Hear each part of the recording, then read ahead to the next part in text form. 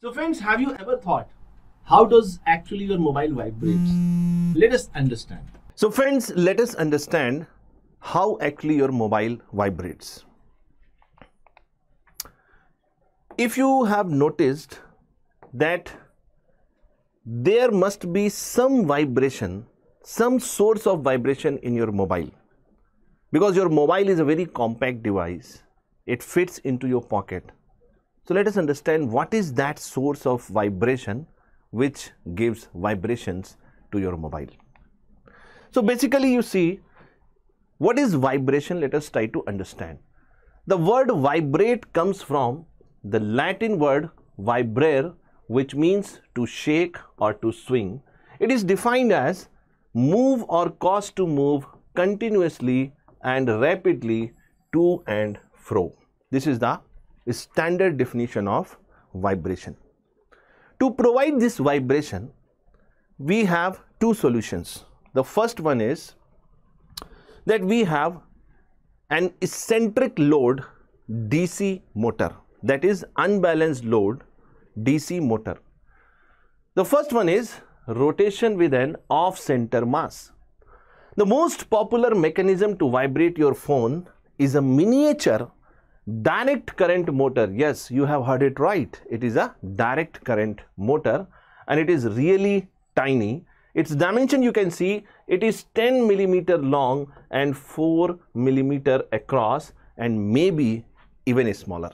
Let us understand little more about it. If the flywheel were centrally mounted on its shaft the rotation of the motor would be smooth with very little vibration. It means if the loading to its shaft, the shaft of the motor is going to be uniform, then there will be rotation, but there will not be any vibration. And what is our objective? Our objective is to get some vibration. To provide that vibration, a counterweight on the shaft is required to make it unbalanced. This is called eccentric rotating mass and it is abbreviated as ERM which give its name to this kind of vibrating motor. It is famous in the commercial purposes with this name ERM motor. Let's try to open your mobile and see where it is going to be located. You see this picture. Your permanent magnet DC motor which gives you vibration in your mobile is going to be working something like this. There is going to be two permanent magnet acting as the stator that is the stationary part and they are permanent magnet. They provide the main field, main field of the motor. Then this rotating part is actually the armature which we also call as rotor because it is the rotating part. This armature is going to have a closed winding. You know that in DC machines we have closed windings. And because of this flux cutting action, some EMF, some currents are going to be produced in the armature winding and there will be two fluxes. The flux because of the permanent magnet and the flux because of the currents in the armature winding. These two fluxes are going to interact with each other to give you a final output that is the torque this torque is going to rotate, continuously rotate this rotor. And because it is having an unbalanced loading, it is going to create continuous vibrations. This is the slow motion. You can understand now well. This is the north pole, this is the south pole, this is a permanent magnet. And this coil is going to rotate so that flux cutting action is there. And because of this flux cutting action, EMF is going to be induced in these part of the conductors, in these part of the conductor and with these EMFs currents will be flowing in the circuit and the currents flowing in the circuit will lead to establishment of another flux that is armature flux.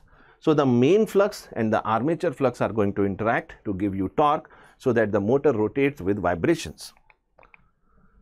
Your DC motor which is having unbalanced load looks something like this. This is the eccentric mass counterweight. This is the eccentric mass counterweight. You can see very easily you can observe that it is going to be unbalanced. Then if you see actually how it is placed, it is something like this. It is a very uh, zoom in picture so that you can identify this motor. The second method that we have is using the resonance, resonance condition.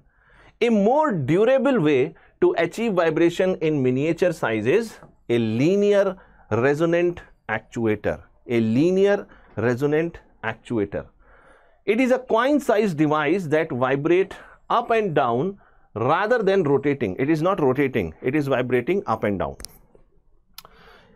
There is a coil of wire which is called as voice coil.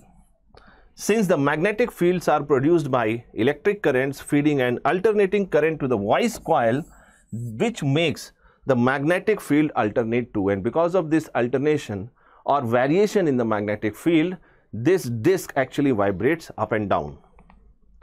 A little disc shaped magnet sits between the voice coil and a spring.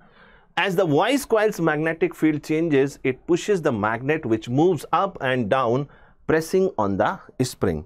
So that it's a bit similar to how a loudspeaker works but instead of producing sound it is set up to produce vibrations at a frequency specific to the device requirement. So its working is similar to how your loudspeaker works. You can see the diagram. This actuator, resonance actuator looks something like this in your mobile. It is a very uh, zoomed in picture.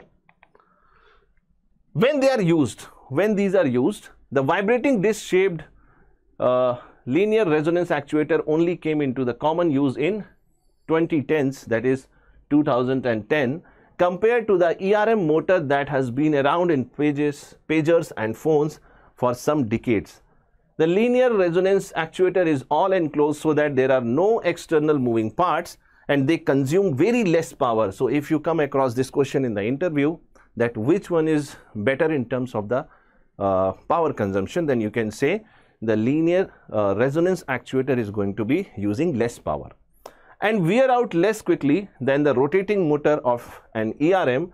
LRAs stop vibrating quickly so they are good for the kind of touch feedback you get when pressing a virtual button on the screen. So your touch screen mobiles they are having this kind of uh, LRA that is linear resonance actuator so that the on and off of vibration mode is very very smooth it's not like a uh, earlier you can say eccentric rotating mass motor because that gives not that smooth output in terms of vibration.